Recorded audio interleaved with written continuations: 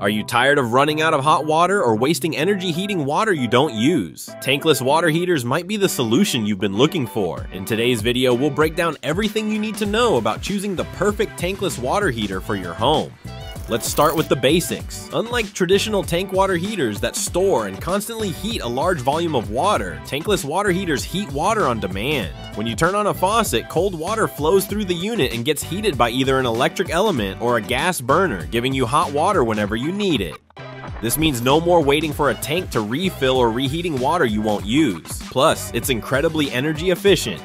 There are two main types of tankless water heaters, electric and gas. Electric models are great for smaller applications like a single bathroom or kitchen sink, and they're easy to install. On the other hand, gas models, including natural gas and propane units, are better for larger homes and whole house needs.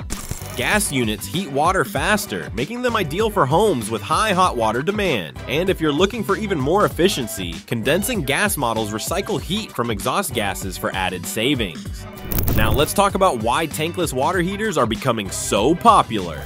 First off, they're incredibly energy efficient because they only heat water when you need it. They avoid the constant energy loss of traditional tanks. Homes that use less than 41 gallons of hot water daily can save 24-34% in energy costs.